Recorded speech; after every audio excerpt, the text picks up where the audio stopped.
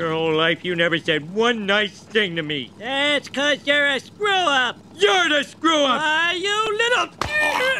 All right. All right, that's it. We're going home. I'm sick of you and your stupid tonic. If I hadn't taken that stupid tonic 38 years ago, you'd have never been born and I'd have been happy. You were an accident. Get out. I'm sorry I said that. Out. I'm going to get out of the car, and I hope you'll find it in your heart not to drive a whip. Well, I'll be all right as long as I can remember my army training. Dang!